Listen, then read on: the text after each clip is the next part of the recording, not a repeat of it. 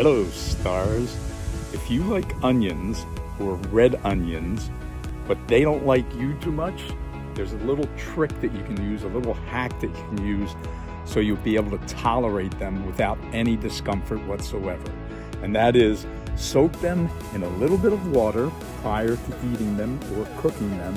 And then in the water, just put like a capful of apple cider vinegar. Drain the water and the apple cider vinegar off, and you're ready to go. Because we all know not having an uncomfortable stomach